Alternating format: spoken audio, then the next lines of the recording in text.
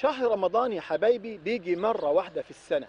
لكن تقدر حضرتك تعمل شهر رمضان ده بثواب 100 شهر في السنة الواحدة. لما تطعم حضرتك أو تفطر 100 صايم معاك. ربنا عز وجل علمنا ده إنك لما بتفطر صايم بتاخد مثل أجره من غير أن ينقص من أجره شيء. مدوا إيديكم بالخير يا إخواننا الإفطار الصائمين علشان نقول لكل محتاج والكل فقير. إحنا معاك.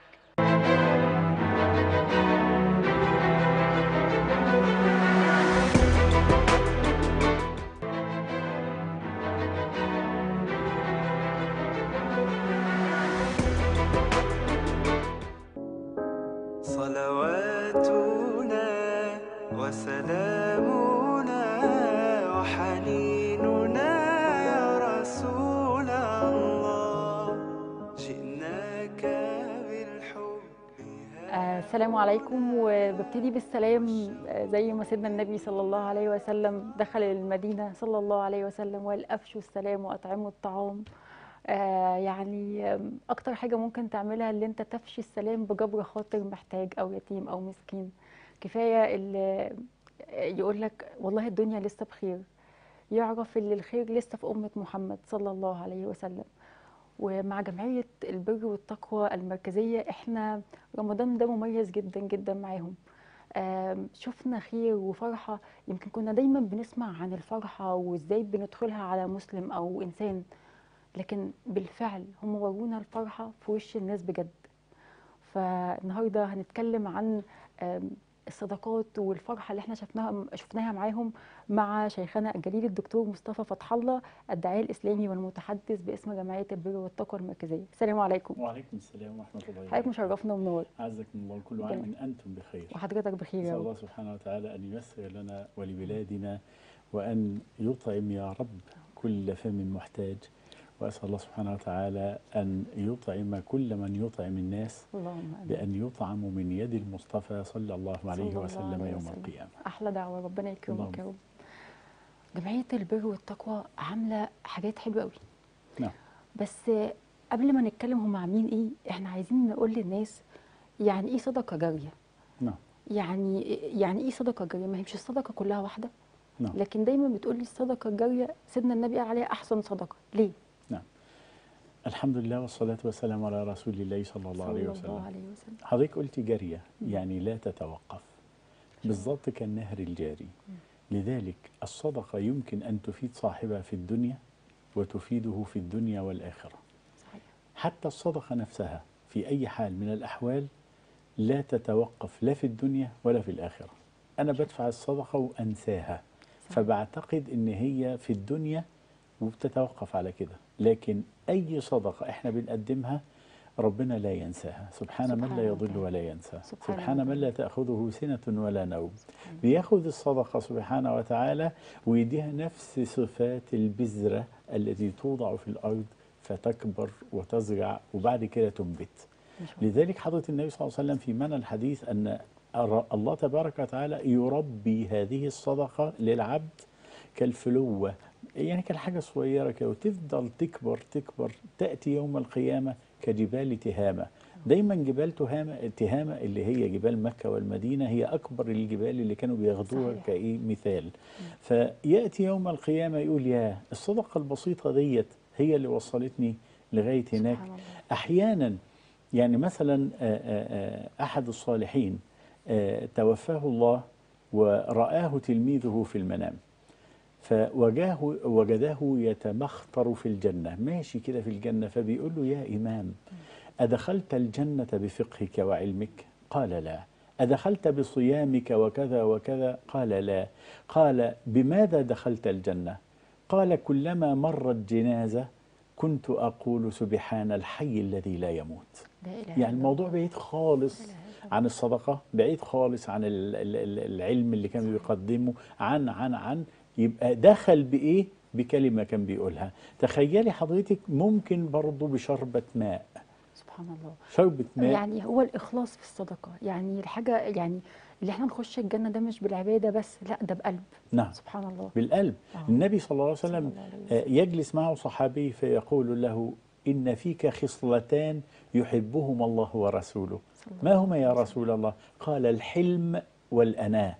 تخيلي حضرتك لما يكون واحد عنده حلم في تلقي أي صدمة يبقى عنده أناة في التصرف ما يبقاش الغيظ. لسانه جاري بيجري آه. والكاظمين الغيظ والعافين عن الناس والله يحب المحسنين درجات بتؤدي إلى جنة ليه؟ أصل هو سوف يتحلى بأن يجلس مع سيد الخلق صلى الله عليه صلى وسلم الله عليه وسلم طيب إحنا عندنا من الصدقات الجارية وحضرتك كنت بتقول لي وإحنا بنتكلم إن أحسن الصدقات الجارية قال عليها سيدنا النبي صلى نعم. الله عليه وسلم حفر الآبار اللي هي سقي الماء. نعم. اللي أنا أسقي حد مية. نعم. فالناس. يعني عندها فكر اللي هو اللي أنا لما أدي صدقة أدي فلوس أو أطعم طعام. لكن موضوع المية ده بالنسبة لهم بعيد قوي ليه النبي صلى الله عليه وسلم اختار حفر بير أو سقي ماء؟ عايز أقول لحضرتك حاجة. أحد الصحابة توفت أمه توفاها الله. فذهب إلى النبي صلى الله عليه وسلم قال يا رسول الله ماتت أمي. والناس اللي, اللي بتحب أمهاتها وفي بر أمهاتها وصحابي ماتت أمي. فما هي أفضل الصدقة لأمي؟ أنا عايز صدقة أمي تستفيد بيها وأنا أستفيد بيها. الحديث اللي أنا بقول لحضرتك ده تسبب في موقف جالي دلوقتي قبل ما أجي التصوير حالا. سبحان الله. فقال له النبي صلى الله عليه وسلم. سقي الماء. يعني إيه سقي الماء؟ يعني أحفر بئر. يشرب منه الناس.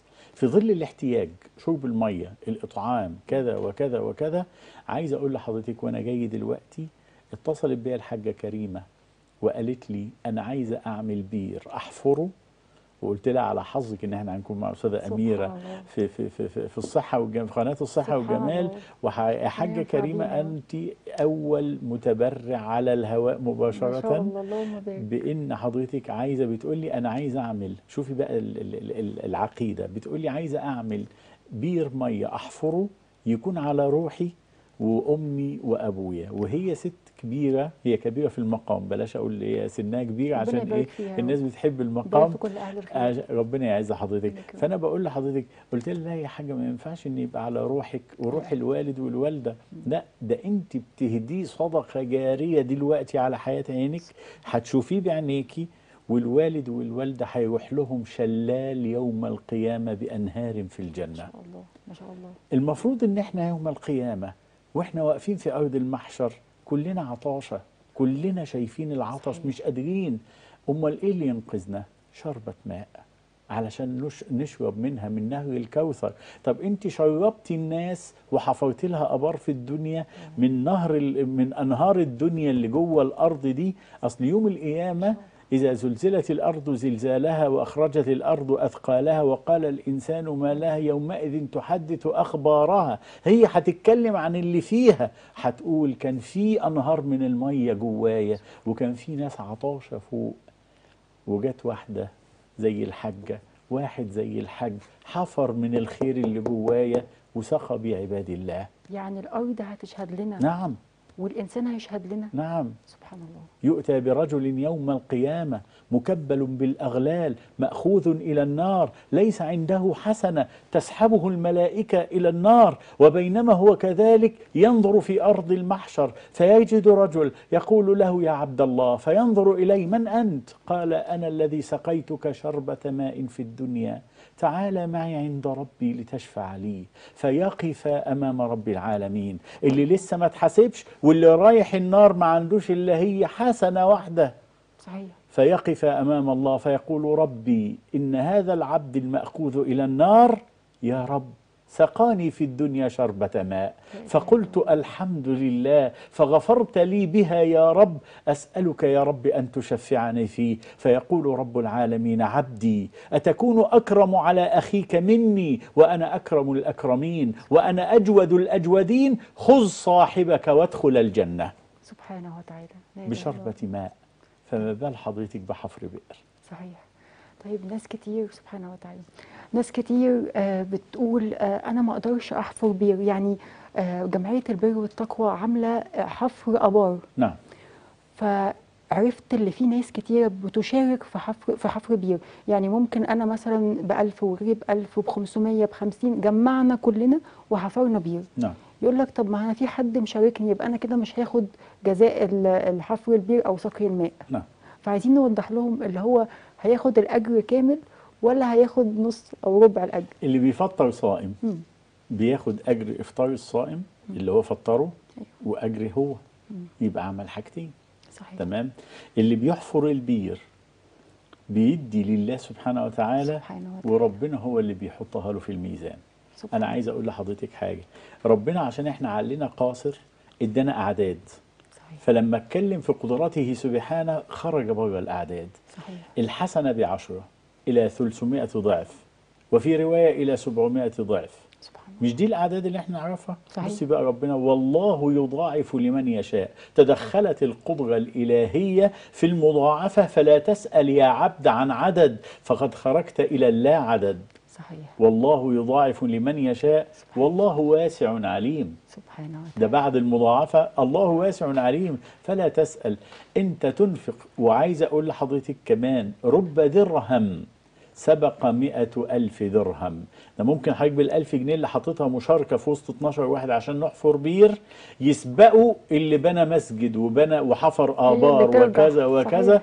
يرضي الله بهذا ولا صحيح. يرضى بذلك صحيح. لذلك إحنا دايما لما نعمل الخير نقول لأن في بابين عند ربنا باب ربنا يفتح لك الطريق إنك تعملي الخير صحيح. والباب الثاني اللي ربنا يقبل بيه هذا الخير فممكن غني معاه فلوس يبني الخير لكن ربنا يقفل عليه باب القبول.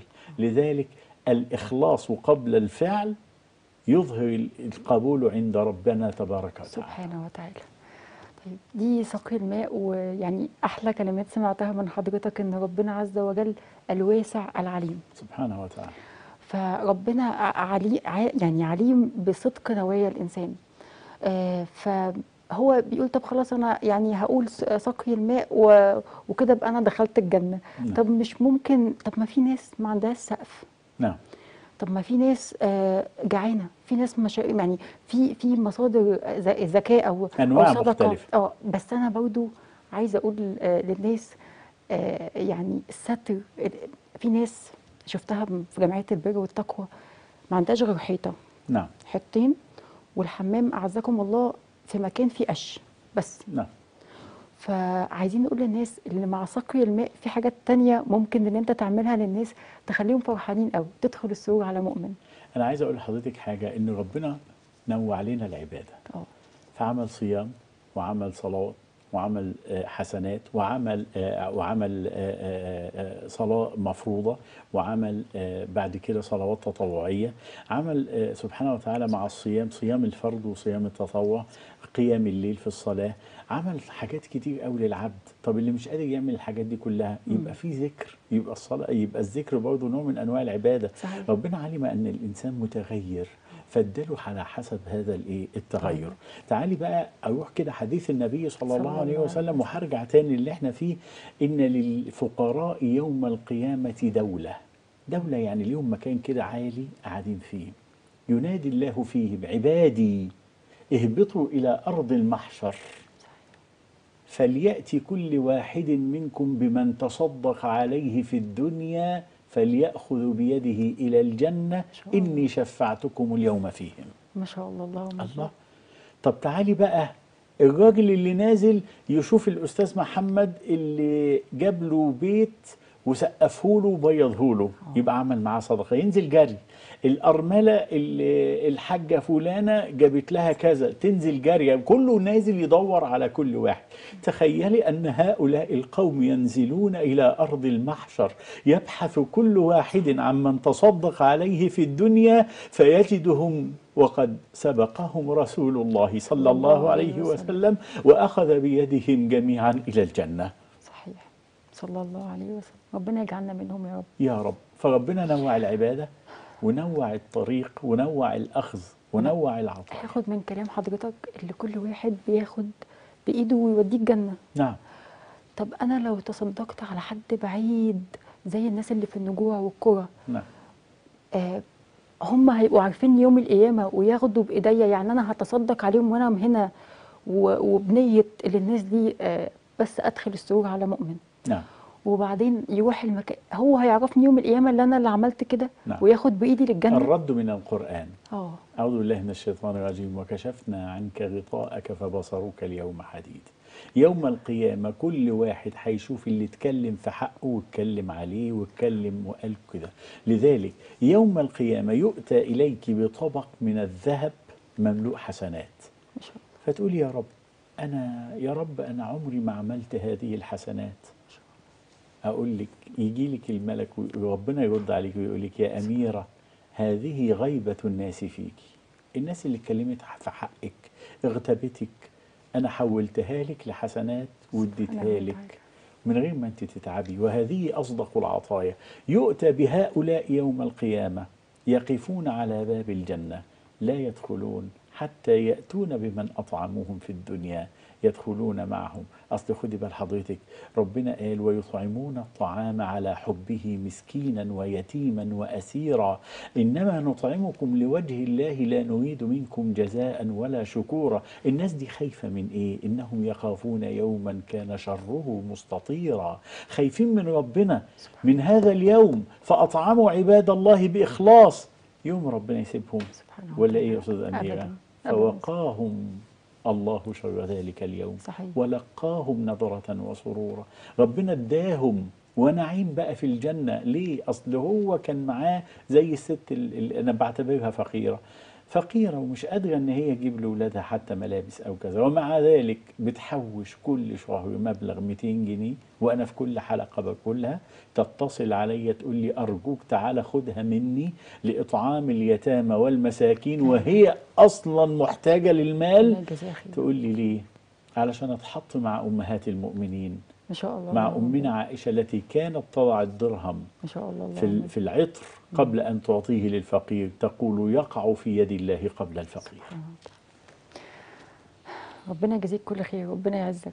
أعزكم الله ويسر طيب الله آه يعني حضرتك آه عايزين نتكلم عن مبادرة حياة كريمة. يعني إحنا اتكلمنا عن حفر ال- ال- الآبار ودي من ضمن مبادرة حياة كريمة. واتكلمنا على إطعام الطعام وده نعم. نفس و- وستر مؤمن.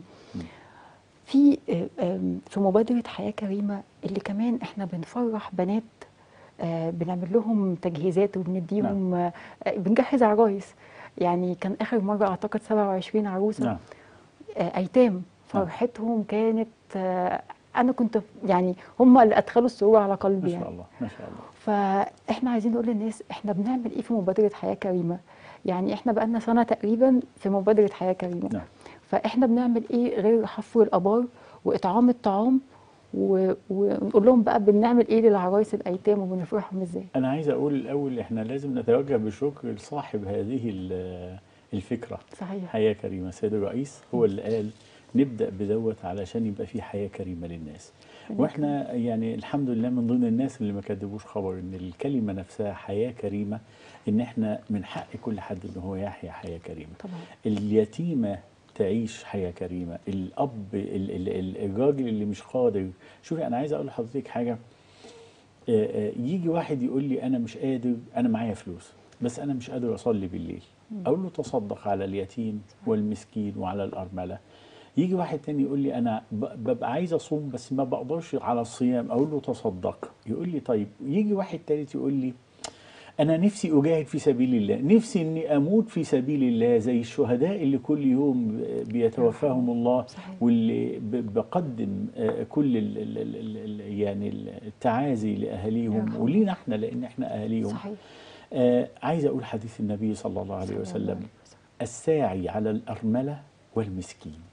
أدي أهو ما بينهم من أبواب الجنة. صحيح. كالمجاهد في سبيل الله. ده أنا برد على اللي بيقول أنا نفسي اجاهد في سبيل الله معايا فلوس بس مش عارف ما فيش باب الجهاد ما- ما فيش. أيوة. تمام؟ طب وإيه كمان بقية الحديث؟ أو كالقائم الليل لا يفتر طول الليل كل يوم يصلي يصلي يصلي بس أنا مش قادر. طب تصدق وتاخد ثواب اللي طول الليل. بيصلي صحيح. أو كالصائم بالنهار لا يفطر كل يوم صايم صايم صايم أنا مش قادر أصوم أقول له تصدق وخذ أجر الصائم. يبقى أنت خدت أجر الصائم. القائم الشهيد في سبيل الله. يبقى أنت هنا أطعمت وسقيت وسترت. إن الله نسمع الحديث ده ستير.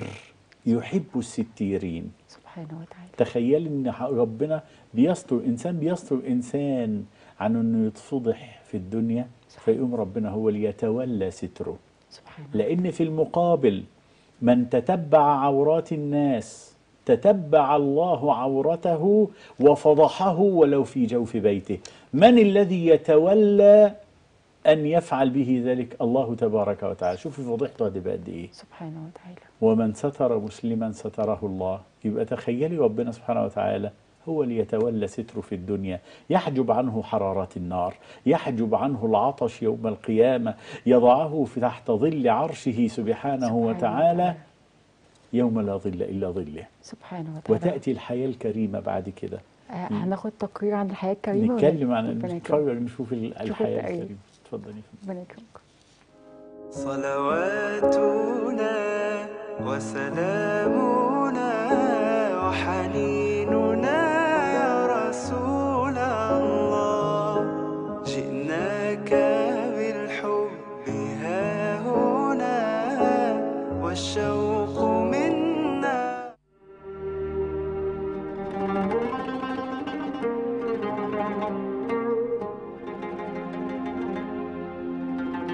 Thank you.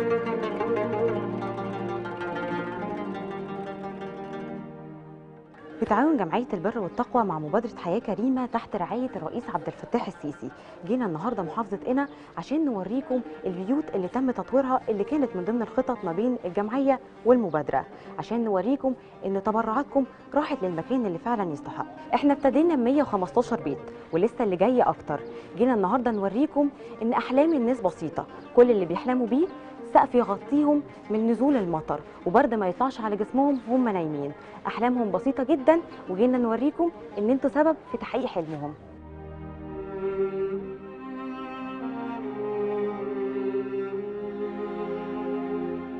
إزيك يا حاج؟ عامل إيه؟ الحمد لله. قول لي اسمك إيه؟ محمد. عندك كام سنة؟ 55 قول لي بقى أنت نص البيت كمل ونص البيت تاني لسه. آه. إيه بقى احكي لي بقى شعورك أول ما شفت البيت لما كمل. الحمد لله. مية مية البيت كده. آه. الفرق إيه؟ الفرق برضه بين البياض والبلاط يختلف على التراب. مهم.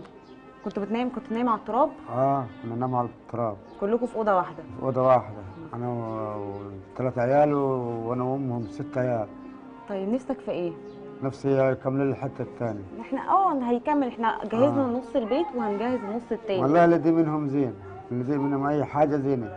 قول لي يا حاج أنت عارف مين اللي ساعدك وإن هو يعمل بيتك كده بشكل جميل؟ جمعية إيه؟ جمعية التقوى. جمعية البر والتقوى. آه.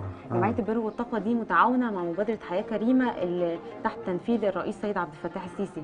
الله. الدولة آه، متضمنة 80% من ترميم البيت ده و20% الباقيين بالتبرعات اللي بتيجي للجمعية.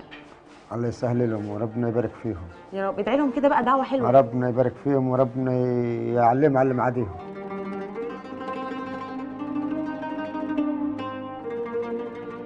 أنا عايزاكي تقولي لي بقى البيت دلوقتي الأوضة عاملة إزاي؟ دلوقتي الا دلوقتي بيطلع عنا بحاجة حلوة يعني. ربنا يبارك فيكم. عم بقت حلوة دلوقتي وبيت حتة الواحد ينام حتة في شيء هيتا اكلان ولا هيتا حالة دلوقتي لما بقينا ننام في ده أول ما شفتي الأوضة بقى كان شعورك إيه؟ أو ف- فرحت فرحت بالبيت كله.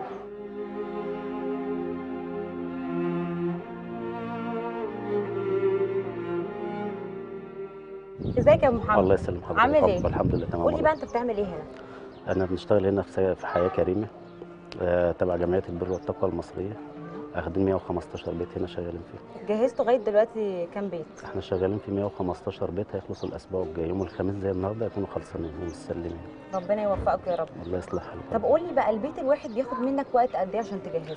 لا هو إحنا بنشتغل في ال 115 مع بعض. ما هو عشان لأن في مثلا نجارين بتاع بيعملوا اللسقف بيشتغلوا الأول. وبعد كده بيخش المحارين وبعد كده بيخش معانا شبابيك وبيبان بتركب وكهربائي وسباك فكله لازم يفتح الشغل مع بعض وما ينفعش نفتح بيت واحد مع بعض. ال 115 بيت يخلصوا مع بعض.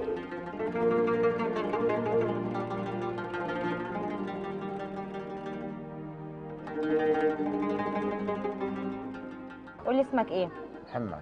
عندك كام سنة؟ عنده 70 عايزاك بقى تحكي لي كده يا حاج محمد البيت زمان كان عامل إزاي قبل ما يتوضب؟ البيت كان آه، مسطر ببوس و- وخشب وكان لم علينا الفيران والتعابين وكانت المية أول ما تنطر تنزل علينا من فوق. نفتح العامل مشقق الثاني الماكدونالد ده معي وقال كله ده الشال. شلته بالأنفار شلته. ورماد وغبارة وحاجة يعني قاعد الإيصال بتاعها قاعد لسه. وبارك الله بهم وربنا يخلي لنا الرئيس إن شاء الله. قولي بقى إيه اللي اختلف في البيت بعد ما اتجدد اختلف حاجات كثيرة قوي نظافة وبياض ودهاس وكل شيء.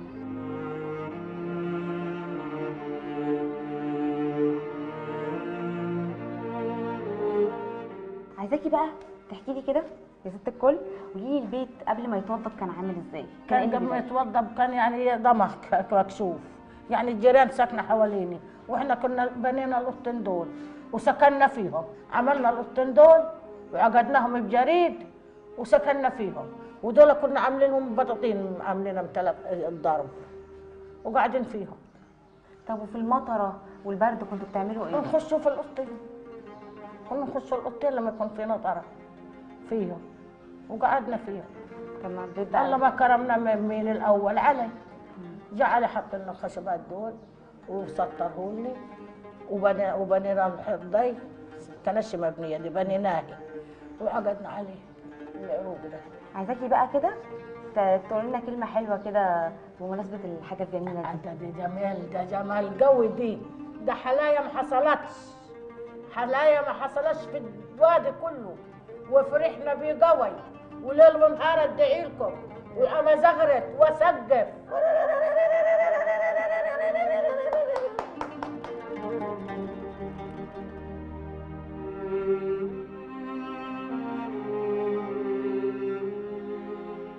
هاجم محمد راشد بما إني إن أنا داخل على جواز كنت عايل هم الشقة والحمد لله الشقة اتعملت لي ما كنتش أتوقع إنه هتوصل للمراحل دي كلها والحمد لله يعني الدنيا تعدل معنا شوي الشقة بوطين ومطبخ وحمام وصالة. واحد أنا أشكرهم ده أنا جميلهم فوق رأسنا من فوق. ده نقدر كل يوم ندعو لهم عشان عملوا معنا كده أحلام أهالي القرية بسيطة جدا. كل اللي بيتمنوه إنهم يعيشوا حياة آدمية. سقف يحميهم من مطر الشتاء وأرض تمنع عنهم البرد والحشرات والتراب. طول ما في عطاء طول ما في خير وطول ما في ناس بتدي طول ما هيبقى في ناس عايشة حياة كريمة.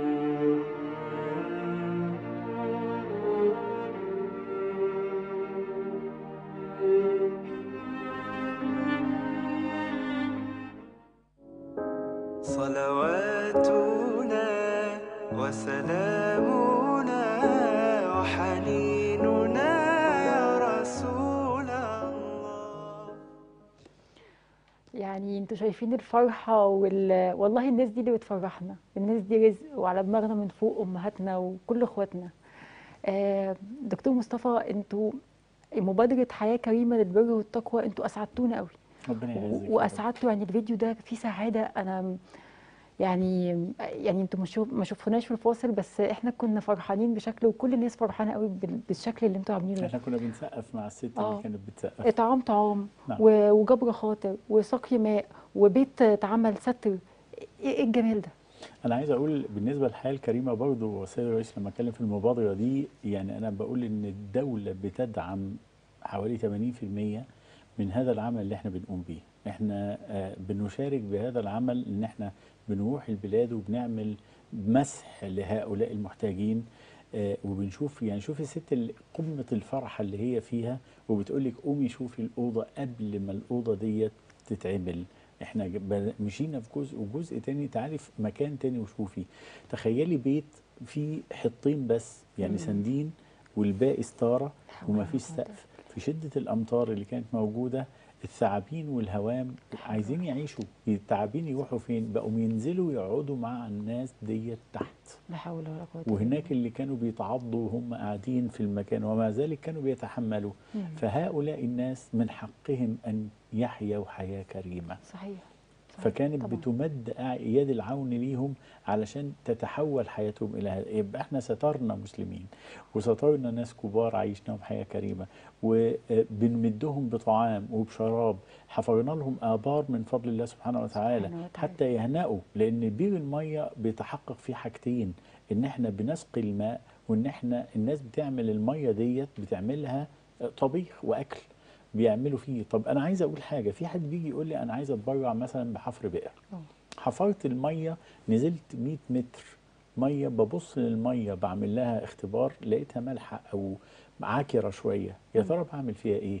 بسيب المية تجري في الأرض عشان تزرع وأحفر بنفس التكلفة اللي حد اداها لي مكان تاني بعمق تاني علشان أجيب مية حلوة يقدر يشرب منها الإنسان. ربنا يكرمك ويبارك فيك. يا رب. يعني أنا يعني الحلقة خلصت بسرعة مع حضرتك. بس سبحان الله يعني ربنا مبارك وربنا يكرمك ويجازيك خير. الله أن يعطي كل منفق خلفا يا رب وكل من ينفق في هذه الأيام الطيبة. ربنا. وبالذات شهر رمضان الذي فيه العطاء يعني مجزول بإذن الله تبارك وتعالى. أنا عايز أقدم الأول التعازي لشهدائنا. آه، آه، و- وبجانب هذه التعازي أنا عايز أهدي برضو التهاني للعاشر من رمضان اليوم اللي أسعد الدنيا كلها واللي حينما استغاث العباد برب العباد استستغيثون ربكم فاستجاب لكم. سبحانه وتعالى استجاب لنا في العاشر من رمضان سبحانه فكان نصر أكتوبر. حينما قال رب العباد لملائكته كما قال في بدر 17 رمضان قال لهم إني معكم. فثبتوا الذين آمنوا. إحنا دايما بنقول إحنا كلنا في معية ربنا عز وجل. سبحانه ربنا يكرمك ويبارك فيك ويا رب دايما في معيته ورحمته جميعا يا رب. آمين يا رب. أشكرك. شكرا جزيلا ربنا يكرمك. شكرا. أعزكم الله يخليك آه كان معانا الدكتور مصطفى فتح الله الداعية الإسلامي والمتحدث باسم جمعية البر, البر والتقوى المركزية. آم، أنا كل اللي عايزه أقول لكم في آخر الحلقة إن أنا مبسوطة جدا بالخير وكل أهل الخير ومبسوطه ان إحنا قدرنا يعني نكون سبب بسيط قوي اللي إحنا ندخل السرور على قلب مسلم. ربنا يكبر بخاطرنا جميعا ودايما نفتكروا اللي محتاج بيدي محتاج. أشوفكم الحلقة الجاية على خير. السلام عليكم ورحمة الله تعالى وبركاته.